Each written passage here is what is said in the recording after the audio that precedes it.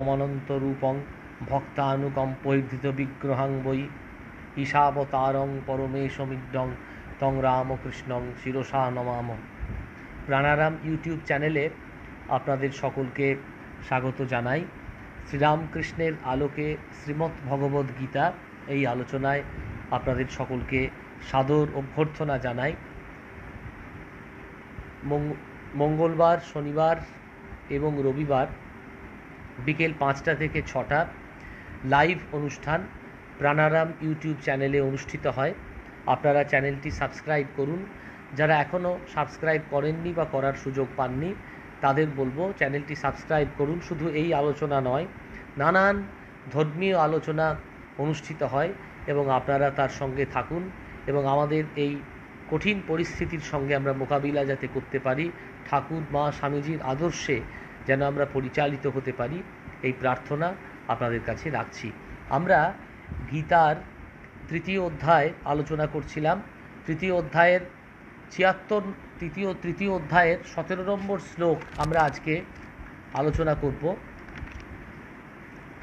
যতু আত্মরতি এব স্যাৎ, আত্মতৃপ্ত চ মানব, আত্মনি এব চ সন্তুষ্ট, তস্য কার্যম নবিদ্যতে। যে ব্যক্তি আত্মাতেই প্রীত, আত্মাতেই তৃপ্ত, আত্মাতেই সন্তুষ্ট থাকেন, তার কোনো কর্তব্য থাকে না। অর্থাৎ এখানে সেই একই আদর্শের কথা বলা হচ্ছে, যে আদর্শ হচ্ছে তুমি বারবার নিজেকে চেনো। তুমি যদি নিজের আত্মস্বরূপকে উপলব্ধি করতে না পারো, তাহলে অন্যের সঙ্গে তুমি কোনোভাবেই যোগসূত্র প্রতিষ্ঠিত করতে পারবে না। কাজেই তোমাকে আগে নিজের স্বরূপটা, আত্মস্বরূপটা তোমাকে জানতে হবে। সেই আত্মস্বরূপ জানার উপায়ই কিন্তু ভগবান শ্রীকৃষ্ণ অর্জুনকে শিখিয়েছিলেন।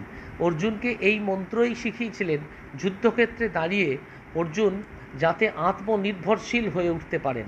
অর্জুনকে দেখাচ্ছেন একটা যুদ্ধের পটভূমিকার মধ্যে অর্জুনকে দান করিয়ে দিচ্ছেন। এবং একটা অদ্ভুত ব্যাপার যাদের আমরা সবথেকে বেশি ভালোবাসি, যাদের জন্য আমরা বেশি আকুল হই, স্ত্রী, পুত্র, পরিবার, পরিজন, আত্মীয়, বান্ধব, সমাজ তাদেরকেই একটা, এই যুদ্ধের প্রতিপক্ষ হিসাবে কৃষ্ণ দান করিয়ে দিচ্ছেন। কাজে এইটা একটা বড় প্রশ্ন আমাদের মধ্যে, যে দেখুন, স্বয়ং কৃষ্ণই তো একটা বিরাট প্রশ্নের মুখোমুখি আমাদের দান করিয়ে দিলেন। যে যাদের কথা ভাবছ, তারা কি প্রকৃতই তোমার? এইটা কেন আমরা বুঝতে পারি না? এটা উপনিষদ বলবে, এটা হচ্ছে মায়ার কারণে, অবিদ্যার কারণে আমরা সেটা বুঝতে পারি না। যেমন আমি আগে আলোচনায় বলেছিলাম যে স্বয়ং রামচন্দ্রকে সবাই অবতার বলে জানেন। কিন্তু লক্ষণ একদিন প্রশ্ন করছেন, রামচন্দ্রকে যে আমি আপনাকে অবতার বলে জানি না কেন? আমার অবতার, আপনার অবতারত্ব সম্পর্কে আমার প্রশ্ন হয় কেন? আপনাকে তো আমার বাড়ির লোক বলেই মনে হয়, অবতার বলে তো মনে হয় না। তখন রামচন্দ্র বললেন যে, দেখো, মাঝখানে যাকে আমি দেখতে পাচ্ছি, তিনি হচ্ছেন সীতা। সেই সীতার কারণে আমার যে গুণের প্রকাশ, সেই প্রকা সেই গুণটা তোমার সামনে প্রকাশিত হচ্ছে না। সেই জন্যই তুমি আমার অবতারত্ব সম্পর্কে বুঝতে পারছ না। কাজেই এখানে বলছেন যে যে ব্যক্তি আত্মাতেই প্রীত, আত্মাতেই তৃপ্ত, সেই ব্যক্তি আত্মাতেই সন্তুষ্ট থাকেন, তার কোনো কর্তব্য থাকে না। এখন দেখুন, আমরা এটা একটা বড় সারা জীবনের প্রশ্ন। জীবন দিয়েও কিন্তু এই প্রশ্নের উত্তর পাওয়া যায় না। জীবনটা কি করলে, কি কীভাবে করলে আমরা নিজেকে জানতে পারব, এটা একটা বড় প্রশ্ন। সেই উপনিষদের যুগ থেকে এই প্রশ্নটা চলে আসছে। ঔপনিষদিক যুগ থেকে একটা বড় প্রশ্ন চলে আসছে। সে প্রশ্নটা কি না কি করলে আমি সেই অনাদি অনন্তকালের যে মানুষ, তাকে আমরা বুঝতে পারব? এইটা একটা বড় প্রশ্ন। এই বড় প্রশ্নের মুখোমুখি আমরা সবাই দাঁড়িয়ে আছি। দেখুন, এই জন্যই কিন্তু ভগবান বলছেন যে ধর্মাচরণ করতে হবে। এখন ধর্মাচরণ মানে কি? পুজো আচ্চা জব ধ্যান ইত্যাদি, সেইটাই কি ধর্মাচরণ? সেইটা কিন্তু ঠিক ঠিক ধর্মাচরণ নয়। ধর্মাচরণ মানে হলো ঠিক ঠিক জীবন যাপন করা। আমরা যদি ঠিক ঠিক জীবন যাপন করতে পারি, তাহলে সেইটিই হচ্ছে প্রকৃত ধর্মাচরণ। সেইটি কৃষ্ণ অর্জুনকে এই শিক্ষাই দিলেন যে, তুমি যদি ঠিক ঠিক জীবন যাপন করতে পারো, তুমি যদি ঠিক ঠিকভাবে পরিচালিত হতে পারো, তোমার জীবনকে ঠিক ঠিকভাবে পরিচালনা করতে পারো, তাহলে দেখবে একটা অসাধারণ ব্যাপার হবে। এখন এই যে আত্মশক্তি, সেই আত্মশক্তিকে কি করে আমরা জানতে পারি? এটা একটা বড় প্রশ্ন যে কি করে আমরা এই বহির্জগতের সব কিছুকে আমরা করায়ত্ত করতে পারি? এখন যন্ত্রের এত প্রাধান্য, যন্ত্রকে ক্লিক করছি আমি, একবারে বহির বিশ্বটা আমার চোখের সামনে ভেসে উঠছে। কিন্তু এমন একটা যন্ত্র আমাদের তুমি দাও, ভগবান, যে যন্ত্রের মাধ্যমে আমার ভেতরে যে সমস্ত বাইরের যে এক্সটার্নাল এলিমেন্টগুলোই ভেতরে বসে আছে, সেইটা ঠিক ঠিকভাবে চেনার উপায়। এইটা, এটা অসাধারণভাবে এই তত্ত্বের সমাধান করেছিলেন শ্রীরামকৃষ্ণ। শ্রীরামকৃষ্ণ কিন্তু এই যে ঠাকুর শ্রীরামকৃষ্ণ একটা অসাধারণ তত্ত্বের মাধ্যমে, একটা অসাধারণ জীবন দর্শনের মাধ্যমে বুঝিয়ে দিলেন সমস্ত কিছু, যা যা কিছু আছে, যা কিছু নেতিবাচক, সব কিছু কিন্তু এক জায়গায় এসে ইতিবাচক হয়ে মিশছে। সেই জন্য ঠাকুর বললেন যে, তুমি সব কিছু ছেড়ে দাও। নিজের মনের অন্তঃপুরে তুমি বসবাস করো। মনের অন্তঃপুরকে তুমি প্রশ্ন করো যে, কি করলে তুমি ঠিক ঠিকভাবে তোমাকে জানতে পারবে। এখন দেখুন, আমরা প্রত্যেকটা মানুষের প্রতি কি করে শ্রদ্ধাশীল হতে পারি। দেখুন, আমাদের আজকের দিনে শ্রদ্ধা জিনিসটার বড় অভাব। আমরা কিন্তু ক্রমশই অসহিষ্ণু হয়ে উঠছি। পিতা, মাতার প্রতি অসহিষ্ণু হয়ে উঠছি। স্ত্রীর প্রতি অসহিষ্ণু হয়ে উঠছি, স্বামীর প্রতি অসহিষ্ণু হয়ে উঠছি, সমাজের প্রতি অসহিষ্ণু হয়ে উঠছি, পরিবারের প্রতি অসহিষ্ণু হয়ে উঠছি। এখন কি করলে আমরা অসহিষ্ণু ভাবটা কাটাতে পারি? কি করলে আমাদের মনের মধ্যে সহনশীলতা জাগতে পারে? কি করলে আমার মনের মধ্যে যিনি বসে আছেন, আত্মারাম হয়ে যিনি বসে আছেন, যিনি আমাকে পরিচালনা করছেন, তাকে কি করলে আমি জানতে পারি? দেখুন, আমি এই প্রশ্নটা এক মহারাজকে করেছিলাম। তিনি আমাকে একটা খুব চমৎকার উত্তর দিয়েছিলেন যে, বল, দেখো, তুমি এইভাবে তোমার জীবনটাকে চালাবে। তুমি যখন কারোর সঙ্গে কথা বলবে, ভাববে তার মধ্যে ঠাকুর আছে। তুমি যখন কারোর সঙ্গে মিলা মিশবে, তখন ভাববে তার মধ্যে ঠাকুর আছে। তুমি কোনো কোনো জায়গা দেখতে গেছো, দেখবে এই জায়গাটা ঠাকুরের সৃষ্টি। কোনো একটা বই পড়ছো, ভাববে এই বইটাও ঠাকুরের কথা বলা আছে বা ঠাকুরের সৃষ্টি, ঠাকুর এই বইটা তৈরি করেছেন। এইভাবে সব কিছু ঠাকুরময় হয়ে যদি আমরা চিন্তা করি, তাহলে দেখবেন আস্তে আস্তে আস্তে আস্তে আস্তে আস্তে এই ইগোর ভাবটা একেবারে চলে যাবে।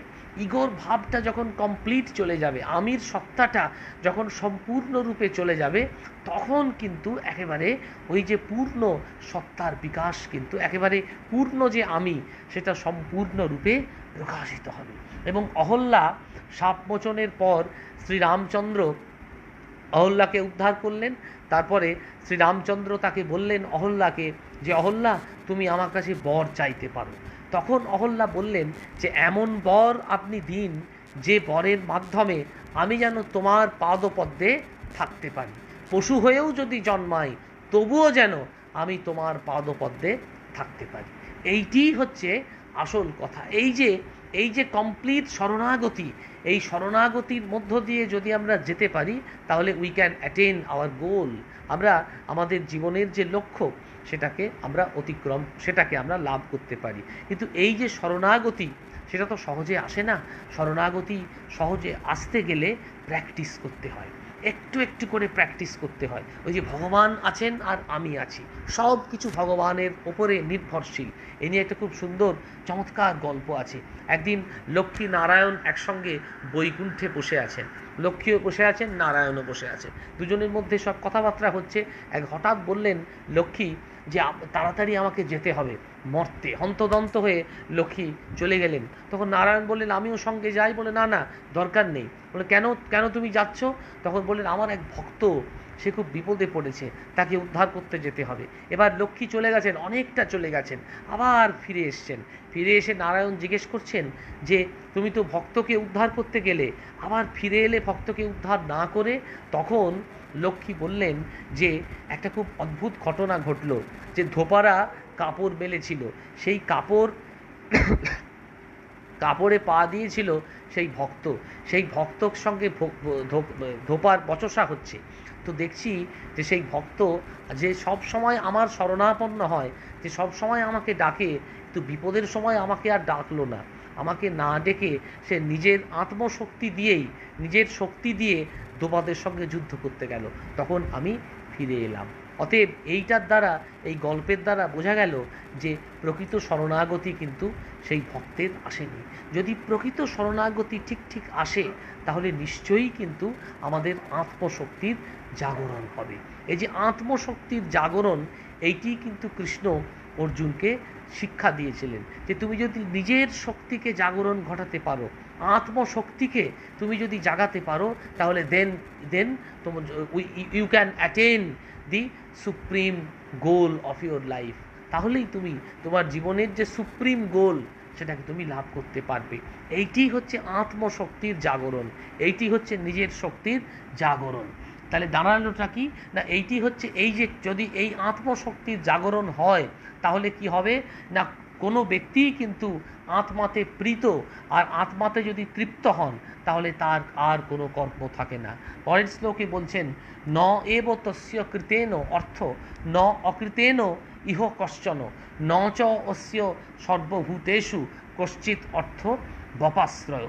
ন চ ন চ তস্য কৃতেন অর্থ ইহলোক কর্মা ইহলোকে কর্মানুষ্ঠান দ্বারা তার কোনো প্রয়োজন সাধিত হয় না।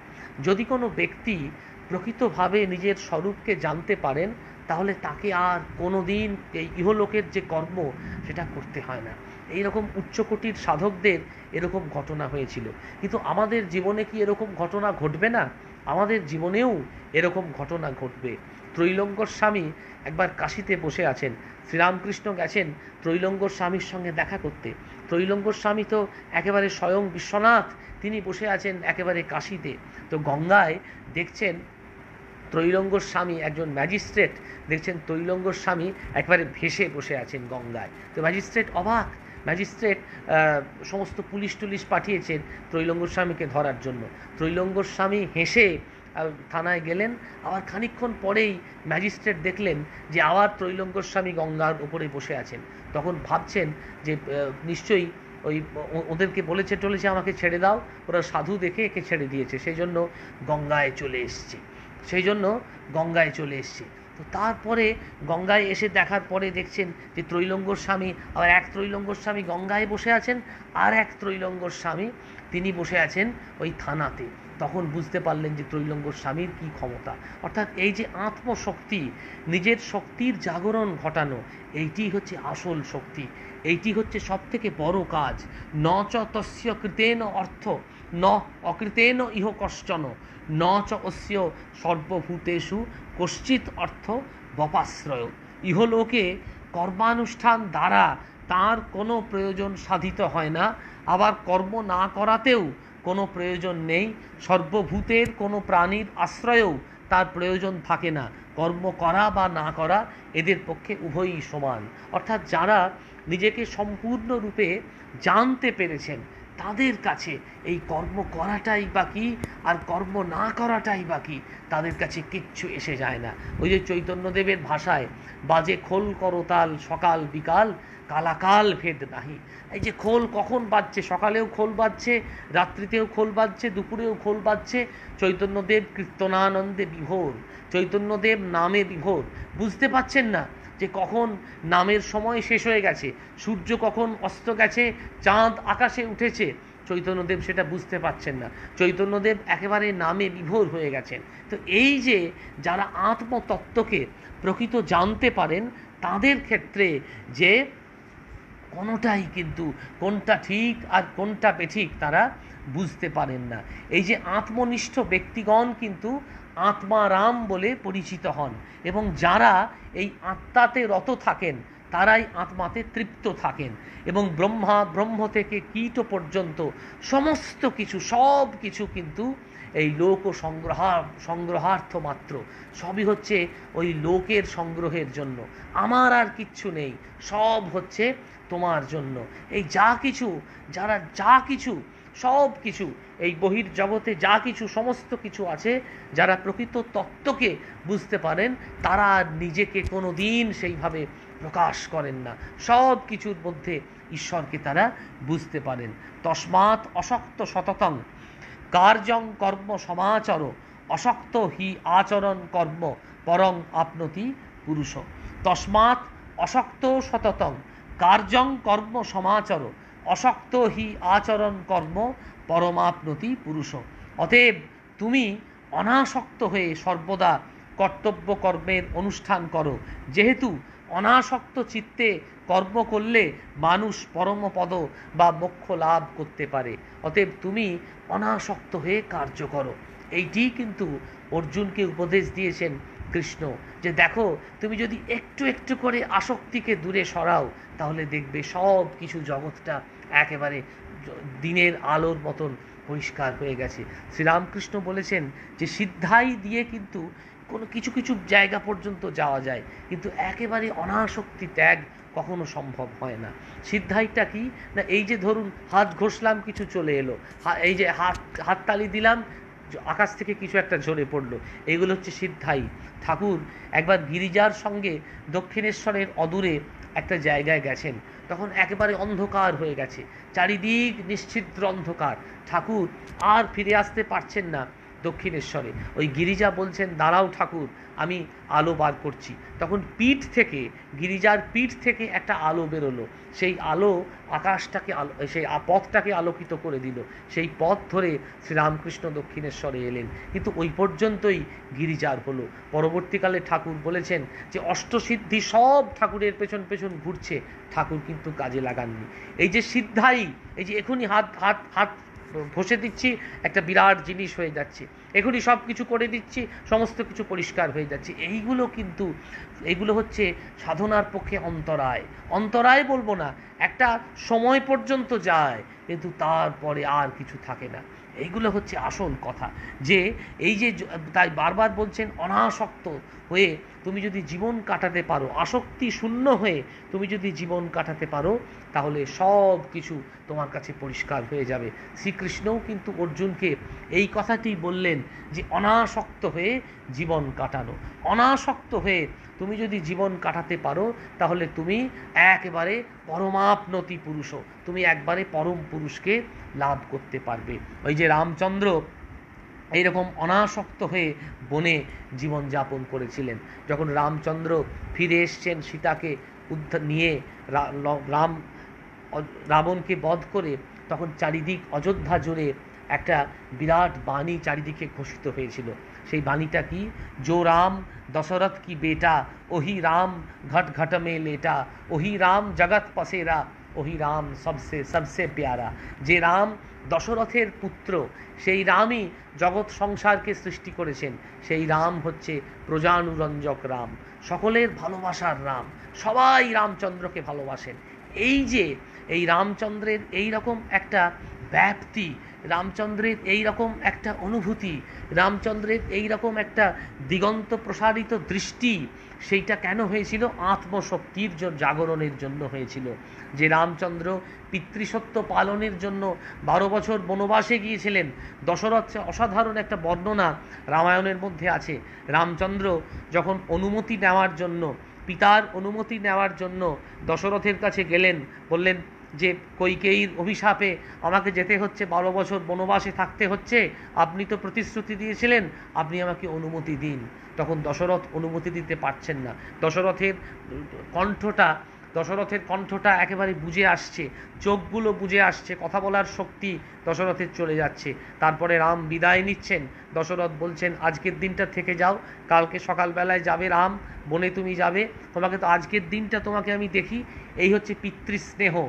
এই হচ্ছে অপত্য স্নেহ। রামচন্দ্র বলছেন, না, কখনোই না। কারণ আমি আত্মশক্তির জাগরণ ঘটিয়েছি। নিজেকে আমি বুঝতে পেরেছি। আপনি অনুমতি দিন। আমি যেন সুখে বারো বছর সেখানে কাটাতে পারি। তারপরে দশরথের যে বিলাপ, সেটা একটা অনবদ্ধ বাল্মীকি লিখেছেন, একটা অসাধারণ বর্ণনা করেছেন যে রামচন্দ্র চলে যাচ্ছেন রথ নিয়ে, সীতার সঙ্গে লক্ষণকে নিয়ে।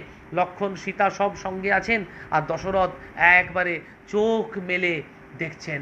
দশরথ একেবারে আকুল দৃষ্টিতে রথকে দেখছেন। যতক্ষণ পর্যন্ত না রথ একেবারে দৃষ্টি চলে যায় ততক্ষণ পর্যন্ত দশরথ কিন্তু আকুলভাবে সেই রথের দিকে দেখছেন। তারপরে দশরথকে যখন আর রামের রথ দেখা যাচ্ছে না, দশরথ তখন বলছেন যে, এই রথ, এই পথ দিয়ে রামচন্দ্র গেছেন। দশরথ, এই রাম, এই পথ দিয়েই দশরথ নন্দন রাম গেছেন। এই পথটাই আমার সঙ্গী হোক। রাম তো আমার সঙ্গী হতে পারবে না এখন। এই পথটাই আমার সঙ্গী হোক। কারণ এই পথে রামের পদধূলি পড়েছে। এই পথে রামের পদধূলি পড়ে গেছে। এই পথে রামের রথ গেছে। এই হচ্ছে আসল কথা। এবং যে নামে টান, সেই নামেই হচ্ছে জ্ঞান। আর সেই নামেই হচ্ছে পরিত্রাণ।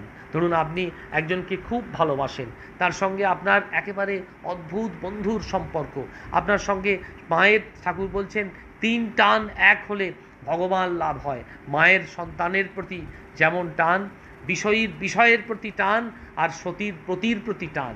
এই তিন টান যদি এক হয়, তবেই ভগবান লাভ হয়। খুব চমৎকার একটা কথা আছে, যে নামে টান, যদি কাউ, কারোর নাম করলেন আর সঙ্গে সঙ্গে তার সঙ্গে আপনার টান অনুভব হলো। যে নামে টান, সেই নামেই জ্ঞান। যদি ঠিক ঠিকভাবে ভালোবাসা থাকে, সেই নামে কিন্তু জ্ঞান আসবে আর সেই নামেই পরিত্রাণ। কলিযুগে একমাত্র সম্বল হচ্ছে নাম। কাজেই যে নামে টান, সেই নামেই জ্ঞান, সেই নামেই হচ্ছে পরিত্রাণ। ভগবান বুদ্ধদেবের একটা অসাধারণ গল্প আছে। ভগবান বুদ্ধদেব নির্বাণ লাভ করেছেন, আত্মশক্তি জাগিয়েছেন নিজের মধ্যে। ভগবান বুদ্ধদেব এবার বেরিয়েছেন পথভ্রমণে। একটা অবিশ্রান্ত বৃষ্টির রাত, এই যে বর্ষাকাল চলছে, প্রচণ্ড অঝরে বৃষ্টি হচ্ছে। প্রচণ্ড বাজ পড়ছে। বুদ্ধদেব পথ হারিয়েছেন। বুদ্ধদেব আর যেতে পারছেন না। একটা বাড়ির তলায় আশ্রয় নিয়েছেন বুদ্ধদেব।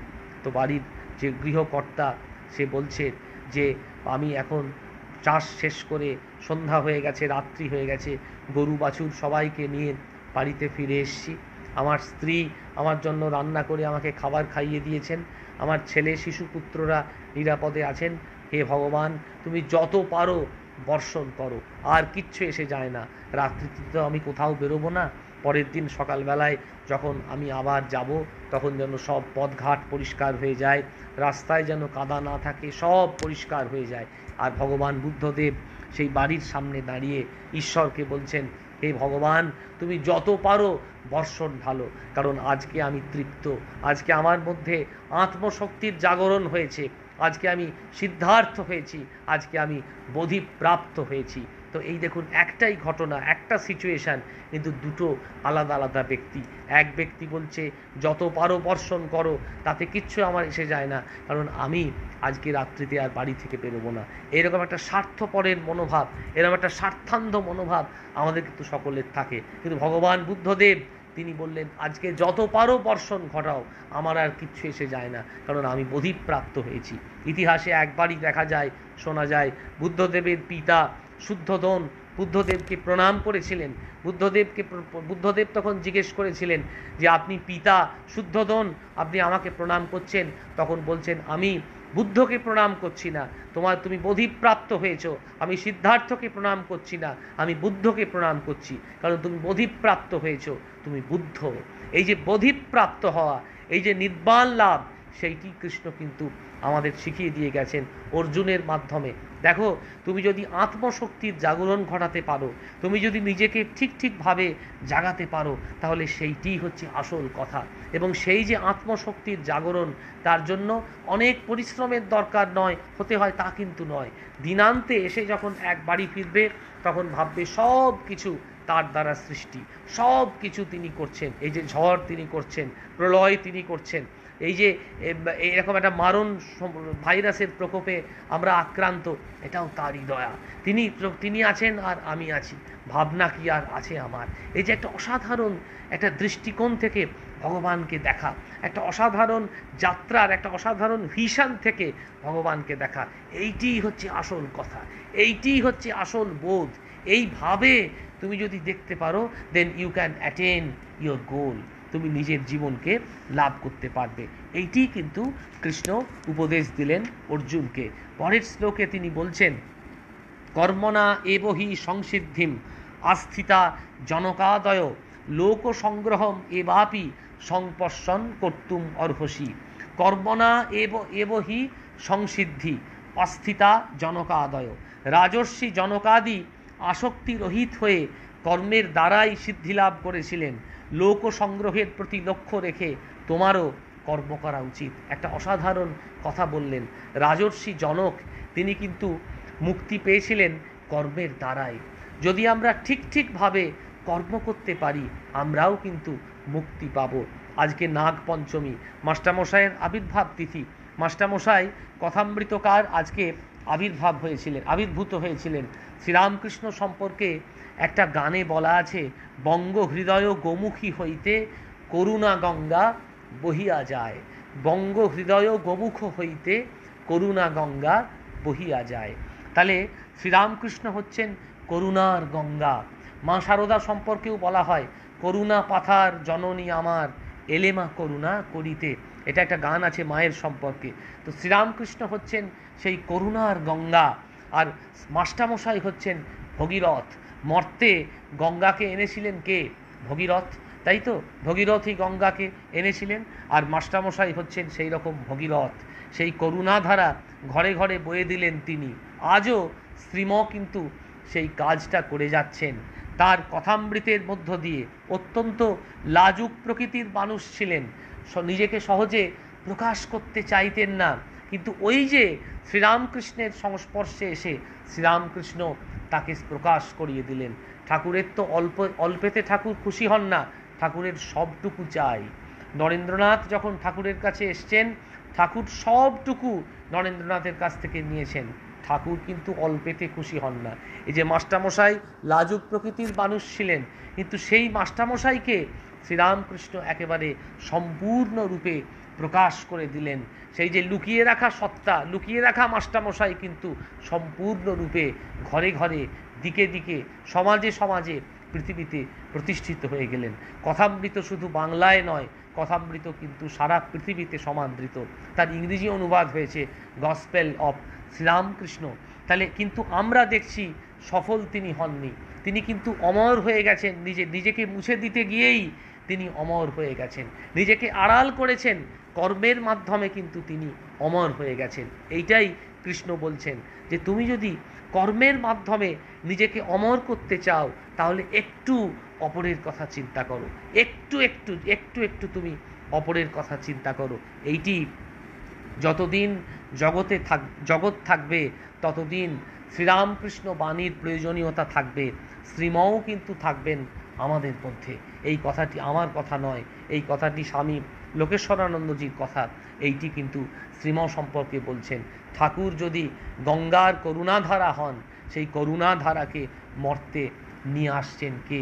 মর্তে নিয়ে আসছেন মাস্টারমশাই। এইটি হচ্ছে মাস্টারমশাইয়ের সাফল্য। কর্মের মাধ্যমে তিনি নিজেকে সম্পূর্ণরূপে প্রকাশ করেছেন। এইটি কিন্তু কৃষ্ণ বলছেন যে, দেখো, তুমি যদি ঠিক ঠিক কর্ম করো, সৎ কর্ম করো সেইটি কিন্তু আসল। তোমার কাছে সব পরিষ্কার হয়ে যাবে। রবীন্দ্রনাথ কিন্তু বারবার কথা বলেছেন, যেই ভক্ত সেই জানে, তুমি জানাও যারে সেই জানে। আমাদের কিন্তু সেই রকমভাবে থাকতে হবে, তুমি জানাও যারে সেই জানে। এত জগৎ আছে আমার মাঝে মাঝে মনে হয়, দেখবেন জগতে নানান রকমের মানুষ আছে। পথ, ঘাটে, একটু যদি চোখে আমরা তাকাই তাহলে দেখব এই জগতে নানান রকমের মানুষ আছে। কিন্তু প্রত্যেকের সঙ্গে প্রত্যেকের কি সদ্ভাব হয়? প্রত্যেকের সঙ্গে প্রত্যেকের কিন্তু সদ্ভাব হয় না। যদি প্রত্যেকটি মানুষ আমার, আমাকে বলে, তুমি খুব ভালো, তাহলে আমার বিচার কিন্তু ঠিক ঠিক হয় না। ঠাকুর শ্রীরামকৃষ্ণ বলেছেন, মা, আমার যেন বিচারের বজ্রাঘাত হোক।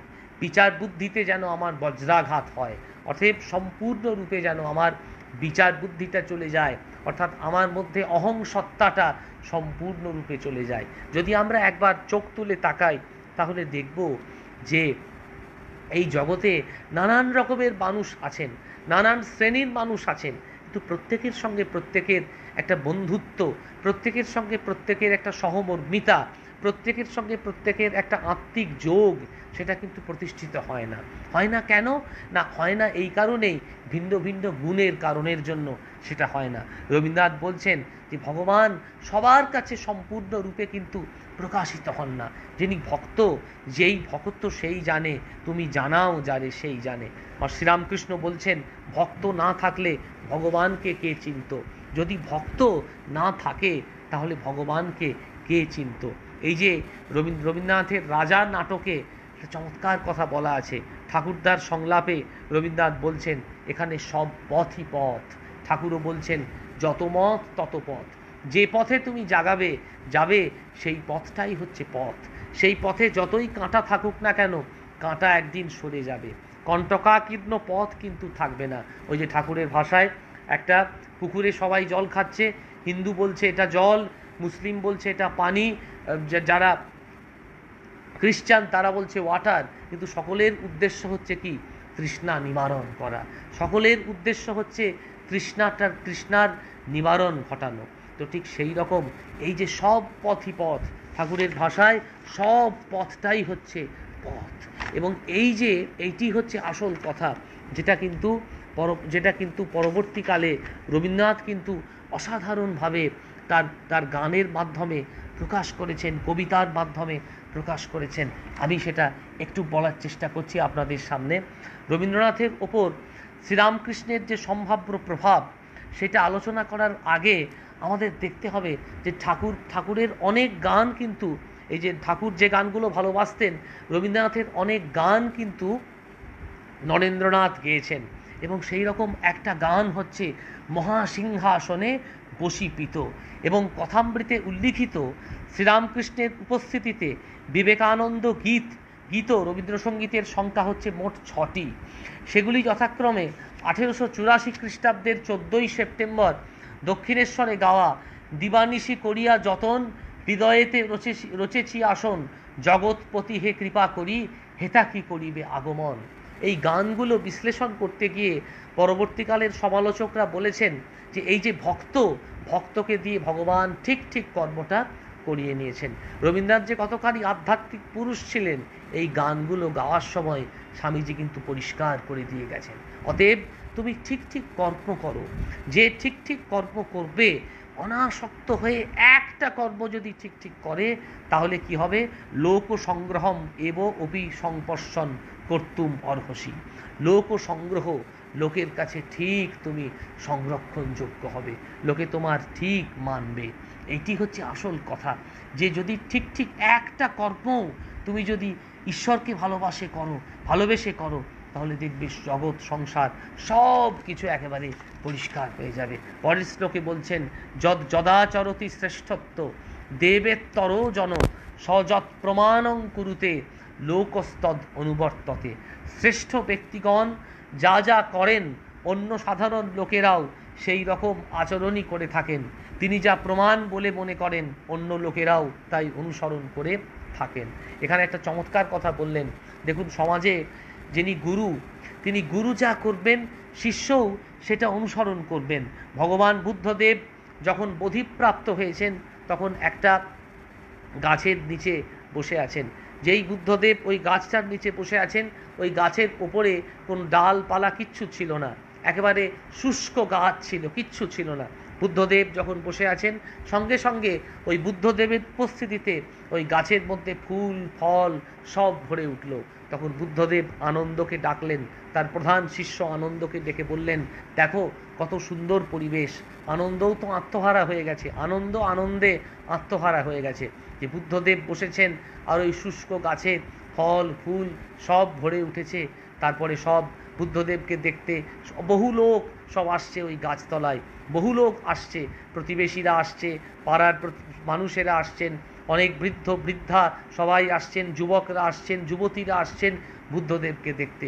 যে বুদ্ধদেব ক্ষমতা বলে সব কিছুকে একেবারে হয়কে নয় করে দিচ্ছেন নয়কে হয় করে দিচ্ছেন। তারপর সবাই যখন চলে গেল, আনন্দকে ডেকে বুদ্ধদেব বললেন যে, দেখো, এই বসন্তের পথ কিন্তু আমার পথ নয়। নির্বাণ লাভ করে আমি যে বসন্তকেই প্রাপ্ত করেছি, তা কিন্তু নয়। বসন্ত কিন্তু কোনো দিন নির্বাণ লাভের সহায়ক হতে পারে না। নির্বাণ লাভ করার জন্য আস্তে আস্তে তুমি এগিয়ে যাও দুঃখের পথে। ভারতীয় দর্শন কিন্তু এই দুঃখ দিয়েই শুরু হয়েছে। নির্বাণ লাভটা কিন্তু বুদ্ধদেবের এই বসন্ত থেকে আসেনি, নির্বাণ লাভটা কিন্তু দুঃখ দিয়ে এসছে। দুঃখ ত্রয়াত বিঘাতাত তো জিঘাংসা তদ অপঘাতকে হেতৌ।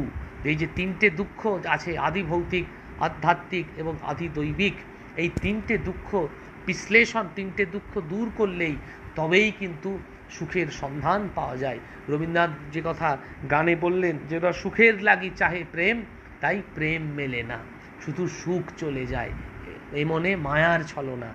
এই যে সুখ এবং দুঃখ দুটোই কিন্তু একসঙ্গে থাকছে। বুদ্ধদেব আনন্দকে বললেন, দেখো, এই যে আমি বসলাম আর আকাশটা একবারে গাছটা ফলে ফুলে ভরে উঠল, এই বসন্ত কিন্তু জীবনে কোনো দিন এইরকম বসন্ত এনো না। কোথা হন্ত চির বসন্ত, আমি বসন্তে মরি। চিরকালের বসন্ত কিন্তু আছে, কিন্তু আমার জীবনে যদি বসন্ত আনতে হয়, তাহলে তোমাকে প্র্যাকটিস করতে হবে। এই নির্বাণ লাভের জন্য আমাকে অনেক কিছু করতে হয়েছে। তারপরে আমি নির্বাণ লাভ করতে পেরেছি।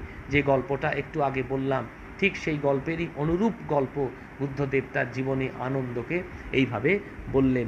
বললেন, যে যে, তাই দেখা যাচ্ছে শ্রেষ্ঠ ব্যক্তিগণ যা যা করেন, সাধারণ লোকেরাও সেই রকমই আচরণ করে থাকেন।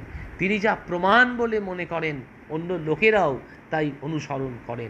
এইটি সমাজের শ্রেষ্ঠ জ্ঞানী ব্যক্তিগণ যা যা আচরণ করেন, যা যা প্রামাণ্য এবং আদর্শ উচিত বলে মনে করেন, সেইটি কিন্তু দেশের সাধারণ মানুষ সেরকম শ্রেষ্ঠ বা জ্ঞানী ব্যক্তিদের অনুসরণ করে থাকেন। অখণ্ডানন্দজি একটা চিঠিতে লিখছেন যে, আমাদের ধন নেই, আমাদের সম্পদ নেই, আমাদের প্রভাব নেই, আমাদের প্রতিপত্তি নেই, কিন্তু একটা জিনিস আমাদের আছে। সেই জিনিসটা কি? সেটা হচ্ছে শ্রীরামকৃষ্ণের আশীর্বাদ।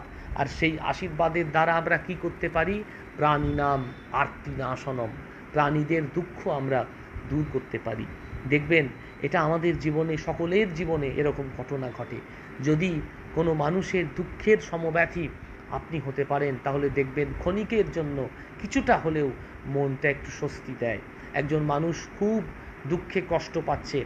সেই দুঃখের ভাগিদার যদি আপনি কিছুক্ষণের জন্য হন, তাহলে দেখবেন এই রকম অনেক, আপনার মনটাও দেখবেন আনন্দে ভরে উঠবে। এই রকম মানুষ আমার জীবনেও কিন্তু এসেছে, এই যে দুঃখের ভাগিদার হওয়া। কেবল সুখের সময় থাকব আর দুঃখের সময় তাকে দেখব না, এইটা প্রকৃত মানুষের পরিচয় নয়। এই যে শ্রীরাম, শ্রীকৃষ্ণ কিন্তু এই দুঃখের ভাগিদার অর্জুনকে করেছেন। যদি তুমি ঠিক ঠিক দুঃখের ভাগিদার হতে পারো, তাহলে মনে হবে সুখটা সুখটা কিন্তু ঠিক একবারে তোমার কাছে আসবে। যতই তুমি যুদ্ধ করব করব না করব না বলো, যুদ্ধ কিন্তু তোমাকে ঠিক করতেই হবে। কারণ যুদ্ধে কে একদল নিহত হলো, না একদল বেঁচে থাকল, তাতে কিচ্ছু তোমার এসে যায় না। তোমাকে তোমার কর্তব্যটা করে যেতে হবে। কৃষ্ণ এইটাই বলছেন, যে যেমন যে আচরণ করে, যৎ যদাচরতি শ্রেষ্ঠ, তৎ দেবের তর জন, সযৎ প্রমাণং কুরুতে, লোকস্তৎ অনুবর্ততে। সে যা যা কাজ করে, লোকেরাও কিন্তু ঠিক ঠিকভাবে সেগুলো কিন্তু অনুসরণ করেন। এবং এই প্রসঙ্গে আমি দুজন বিখ্যাত ব্যক্তির ভাব, মনো, মনোনিবেশে দুজন বিখ্যাত ব্যক্তির মিলনের কথা বলি। একজন হচ্ছেন রবীন্দ্রনাথ, আরেকজন হচ্ছেন শ্রীরামকৃষ্ণ। রবীন্দ্রনাথ ও শ্রীরামকৃষ্ণের মিলন শুধু কি ভাব জগতে সুর জগতে এবং মনোজগতে সীমাবদ্ধ থাকতো? তাদের কি বাস্তব মিলন একটা অসম্ভব ঘটনা ছিল? মনে হয় যদি শ্রীরামকৃষ্ণ আরও কিছুকাল বেঁচে থাকতেন, তাহলে তাদের হয়তো মিলন হতো বা সম্ভব হতো শ্রীরামকৃষ্ণের উদ্যোগে। যৎযৎ বিভূতিমত সত্যং শ্রীমৎ অর্জিত মেববা যা কিছু বিভূতি ঐশ্বর্যযুক্ত, শ্রীসম্পন্ন বা বলশালী, তার সবই হচ্ছে ঈশ্বরের বিশেষ প্রকাশ। শ্রীরামকৃষ্ণের সঙ্গে রবীন্দ্রনাথের দেখা হয়নি ঠিকই, কিন্তু ভাব জগতে মনোজগতে তাদের দেখা হয়েছে। ওই যে যৎ যৎ প্রমাণং কুরুতে, লোকতৎ অনুবর্ততে। বিখ্যাত মানুষেরা যা যা কর্ম করেন, লোকে সেগুলো সেটা অনুসরণ করেন। এই যে রবীন্দ্রনাথের মধ্যে সেই বিভূতির প্রকাশ ছিল, এটা বলা বাহুল্য। সেই জন্য তিনি সর্বভূতস্থ আত্মানং, সর্বভূতানি চাঁদমণি। যে পৃথিবীর সব জায়গায়, আজকে আত্মতত্ত্ব নিয়ে আলোচনা হচ্ছে, এই পৃথিবীর সমস্ত জায়গায় তিনি নিজের স্বরূপটাকে উপলব্ধি করতে পেরেছিলেন। সেই জন্যই বাবার সঙ্গে যখন হিমালয় ভ্রমণে গেছিলেন, তখন বাবা বলছেন, বাবা, পিতা নৌসি বলো। তখন ওই উপনিষদের সেই শ্লোকটা, সেই মন্ত্রটা রবীন্দ্রনাথ যখন উচ্চারণ করছেন, পিতা নৌসি পিতা নৌসি, তখন ওই যে ডুলিতে করে নামছেন, তখন সব কষ্ট রবীন্দ্রনাথের চলে যাচ্ছে। পিতা নৌসি, এই শব্দটা বলার সঙ্গে সঙ্গে। তার বাইরের বাধাও নেই, অন্তরের বাধাও নেই।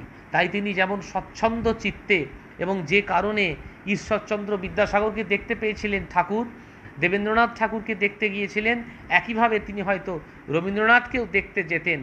যখন রবীন্দ্রনাথ, শ্রীরামকৃষ্ণ রবীন্দ্রনাথের লোকোত্তর প্রতিভার অনবদ্য সাহিত্য সৃষ্টির বিশ্বজোড়া খ্যাতির কথা জানতেন, উপরন্তু তার ভগবত ভক্তির কথা জানতেন। শ্রীরামকৃষ্ণর কথা শুরু করতেন এই বলে, এতদিন কত আলোই না দেখেছি। দ্বীপের আলো, তারার আলো, হদ্দ চাঁদের আলো, আজ দেখছি একেবারে রবির আলো। আর তুমি তো শুধু রবি নও, রবীন্দ্র। রবীন্দ্রনাথ কিন্তু এর উপযুক্ত জবাব নিশ্চয়ই দিতেন। আর শ্রীরামকৃষ্ণ বলতেন, তোমার কত নাম জগৎজোড়া কত খ্যাতি, তাই তোমাকে দেখতে এলুম। আর তুমি কি গানই সব বেঁধেছ? আহা, যেমন ভাব, তেমন ভাষা। তেমন সুর। নরেনের গলায় তোমার গান শুনেছি, দিবানিশি করিয়া যতন। সেই গান শুনে আমার ভাব হয়েছিল গো। এই যে মনোজগতের মিলন, এই মনোজগতের মিলন কিন্তু যোগীর মধ্যে হয়েছিল। তাই বলছেন গীতায়, যারা ঠিক ঠিক কর্ম করেন, লোকে তদ অনুবর্ততে। আমরা তাদের অনুসরণ করি।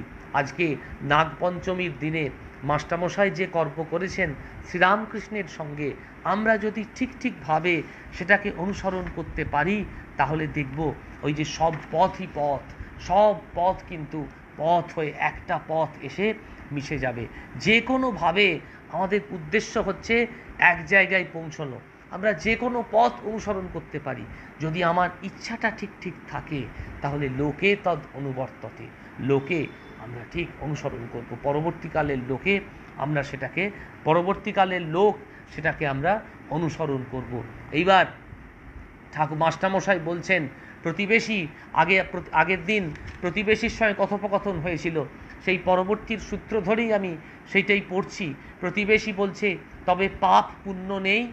শ্রীরামকৃষ্ণ বলছেন, আছে, আবার নেই। তিনি যদি অহং তত্ত্ব ইগো রেখে দেন, তাহলে ভেদ বুদ্ধিও রেখে দেন, পাপ পুণ্য জ্ঞানও রেখে দেন। তিনি দু একজনেতে অহংকার একেবারে পুঁছে ফেলেন। তারা পাপ পুণ্য ভালো মন্দের পার হয়ে যায়। ঈশ্বর দর্শন যতক্ষণ না হয়, ততক্ষণ ভেদ, বুদ্ধি, ভালো, মন্দ জ্ঞান এখানেই থাকবেই থাকবে। তুমি মুখে বলতে পারো, আমার পাপ পুণ্য সমান হয়ে গেছে। তিনি যেমন করাচ্ছেন, তেমনি করছি। কিন্তু অন্তরে জানো যে, ওসব কথা মাত্র। মন্দ কাজটি করলেই মন ধুকধুক করবে। ঈশ্বর দর্শনের পরও তার যদি ইচ্ছা হয়, তিনি দাস আমি রেখে দেন। যে অবস্থায় ভক্ত বলে, আমি দাস, তুমি প্রভু। সে ভক্তের ঈশ্বরীয় কথা, ঈশ্বরীয় কাজ ভালো লাগে। ঈশ্বর বিমুখ লোককে ভালো লাগে না। ঈশ্বর ছাড়া কাজ ভালো লাগে না। তবেই বলো, এরূপ ভক্ততেও তিনি ভেদ বুদ্ধি রাখেন। ঠাকুর পরিষ্কার করে দিলেন যে, তিনি যদি কৃপা করেন, তবে ভেদ বুদ্ধি চলে যায়। আমি আলোচনাটা শুরু করেছিলাম রামচন্দ্রের কথা দিয়ে। রামচন্দ্রকে লক্ষণ প্রশ্ন করেছিলেন যে আমি তোমাকে সব এত লোক অবতার বলে, কিন্তু আমি তো তোমার অবতারত্বের প্রকাশ দেখতে পাই না। ওই যে ভেদ বুদ্ধির কারণে। মাঝখানে অবিদ্যারূপী সীতাকে দিয়েছেন। সেই জন্য রামচন্দ্র যে এত বড় একজন ব্যক্তি, এতদিন এই এত এত সব বিশাল ব্যাপ্তি তার, সেটা লক্ষণ বুঝতে পারছেন না। এই যে রামচন্দ্রের যদি বর্ণনা পড়েন, অসাধারণ বর্ণনা। মুনিজন মনোহর মূরতি সুন্দর, এর অসাধারণ বর্ণনা। তিনি মুনিজনের মনোহর, সকল মুনিজন তাকে অনুসরণ করেন। তার তার মূর্তিটা কি? মূরতি সুন্দর। তার মূর্তিটা দেখলেই একেবারে, তিনি একবারে সৌম্য কান্তি দেখলেই তার প্রতি আমার ভক্তি আসে বা আমাদের ভক্তি আসে। মর্দিত ইন্দু মুখাকৃতি তার মুখটা কীরকম? ইন্দু মুখের মতো দেবতাদের মতন তার মুখ অসাধারণ। আর তিনি তার বর্ণনা তার রূঢ় রস্ক, একেবারে কাঁধ চওড়া, এইরকম একজন মানুষ তাকে দেখলেই আমি ভক্তিতে প্রণত হচ্ছি। তিনি তো একজন সাধারণ মানুষ নন, তিনি একজন অসাধারণ মানুষ। আর গলিতে দাঁড়িয়ে শ্রীরামকৃষ্ণ বললেন, যে রাম, সেই কৃষ্ণ, ইদানিং এই শরীরে রাম কৃষ্ণ। তা মাস্টারমশাইয়ের জন্মতিথিতে মাস্টারমশাই বলছেন, ওই যে ভেদ বুদ্ধি তিনি যদি দূর করে দেন, তাহলেই তিনি একেবারে সপ্রকাশ হয়ে আমাদের সামনে প্রকাশিত হবেন এই যে আননোন আর নোয়েবল দুটো কথা মাস্টারমশাই বলেছেন। আননোন মানে যাকে কোনো দিন জানা যায় না। আর নোয়েবল মানে তিনি যদি শক্তি দেন, তাহলে আমরা তাকে জানতে পারি। এবার শ্রীরামকৃষ্ণ বলছেন, তাকে ইন্দ্রিয় দ্বারা, মনের দ্বারা জানা যায় না। যে মনে বিষয় বাসনা নাই, সেই শুদ্ধ মনের দ্বারা তাকে জানা যায়। প্রতিবেশী, ঈশ্বরকে কে জানতে পারে? শ্রীরামকৃষ্ণ। ঠিক কে জানবে? আমাদের যতটুকু দরকার, ততটুকু হলেই হলো। আমার এক পাতকুয়া জলের কি দরকার? এক ঘটি হলেই খুব হলো। চিনির পাহাড়ের কাছে একটা পিঁপড়ে গেছিল। তার সব পাহাড়টার কি দরকার? একটা দুটো দানা হলেই হেউ হেউ হয়। প্রতিবেশী, আমাদের যে বিকার, এক ঘটি জলে হয় বই কি? ইচ্ছা করে ঈশ্বরকে সব বুঝে ফেলি। শ্রীরামকৃষ্ণ তা বটে। কিন্তু বিকারেরও ঔষধ আছে। প্রতিবেশী মহাশয় কি ঔষধ? শ্রীরামকৃষ্ণ বলছেন, সাধু সঙ্গ, তার নাম গুণগান, তাকে সর্বদা প্রার্থনা। আমি বলেছিলাম, মা, আমি জ্ঞান চাই না, এই নাও তোমার জ্ঞান, এই নাও তোমার অজ্ঞান। মা, আমায় তোমার পাদপদ্মে কেবল শুদ্ধা ভক্তি দাও, আর আমি কিছুই চাই নাই। যেমন রোগ, তার তেমনি ঔষধ। গীতায় তিনি বলেছেন, হে অর্জুন, তুমি আমার স্মরণ লও তোমাকে সব রকম পাপ থেকে আমি মুক্ত করব। ওই যে সর্বধর্মান পরিত্যজ্য মাম একং শরণং ব্রজ।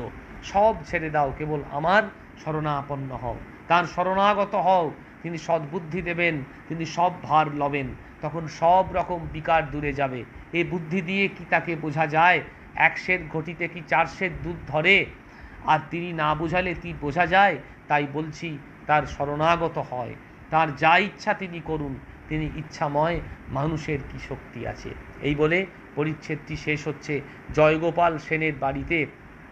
ঠাকুর এসছেন এবং প্রতিবেশীর সঙ্গে ঠাকুরের এই সংলাপ হচ্ছে। এই যেন একেবারে গীতার প্রতিধ্বনি যে এই যে লোকোত্তর তদ অনুবর্ততে, আসল মানুষেরা, মহাজনেরা যে পথ যা যা কাজ করেছেন লোকোত্তদ অনুবর্ততে। লোকে সেটাই কিন্তু অনুবর্তন হয়। শ্রীরামকৃষ্ণ কিন্তু নিজের জীবন দিয়ে দেখিয়ে দিলেন। ওই যে শ্রীরামকৃষ্ণ হচ্ছেন করুণার গঙ্গা। আর মাস্টামশাই হচ্ছেন ভগীরথ। মাস্টামশাই সেই করুণার গঙ্গাকে একেবারে মর্তে নিয়ে এসছেন। নাগ পঞ্চমীর দিনে মাস্টামশাইয়ের চরণে আমাদের সশ্রদ্ধ প্রণাম। আপনাদেরকেও সশ্রদ্ধ নমস্কার জানাই। প্রাণারাম ইউটিউব চ্যানেলের উদ্যোগে শ্রীরামকৃষ্ণের আলোকে শ্রীমদ্ ভগবদ গীতা এই আলোচনা শনিবার, রবিবার এবং মঙ্গলবার বিকেল পাঁচটা থেকে ছটা প্রাণারাম ইউটিউব চ্যানেলে সরাসরি সম্প্রসারিত হবে। আপনারা চ্যানেলটি সাবস্ক্রাইব করুন। ঠাকুর, মা, স্বামীজি সম্পর্কে আমরা এই ভাবধারায় স্নাত হই এবং আমাদের এই যে কালিমালিপ্ত ক্ষুদ্র জীবন, সেই জীবনকে একটু একটু করে বৃহতের দিকে যদি আমরা আগাতে পারি, তাহলেই আমাদের জীবনটা একেবারে পরিষ্কার হয়ে যাবে। খাল বিল যখন সমুদ্রে গিয়ে পড়ে, তখন একেবারে সব জল একাকার হয়ে যায়। খালেরও জল থাকে না, বিলেরও জল থাকে না। সব জল কিন্তু একাকার হয়ে যায়। শ্রীরামকৃষ্ণ সেই রকম মহাসমুদ্র, সেই মহাসমুদ্রে যদি আমরা একটু একটু করে এগোতে পারি, সব একেবারে স্বচ্ছতা কত শান্ত হয়ে যাবে। নদীর নদীর সমুদ্রের, মাঝ সমুদ্রের কিন্তু কোনো ঢেউ থাকে না। শ্রীরামকৃষ্ণ সেরকম একেবারে তরঙ্গহীন একটি একবারে শান্ত সমাহিত। সেই তরঙ্গহীন শান্ত সমাহিত জীবন যদি আমরা করতে চাই, তাহলে তাকে অনুসরণ করতে হবে। তিনি আছেন, আমরা যা কাজ করি দিনান্তে, তিনি একবার ওই যে তার যদি স্মরণ করতে পারি, তাহলে একবারে সব কিছু পরিষ্কার হয়ে যাবে।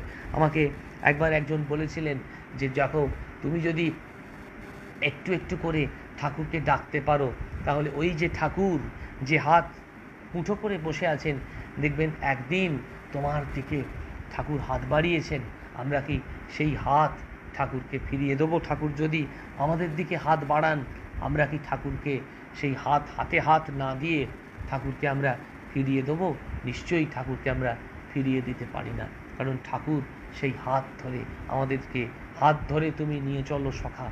আমি যে পথ চিনি না, সেই পথ অজানা, অচেনা, সেই গহন পথে ঠাকুর আমাদের নিয়ে যাবেন।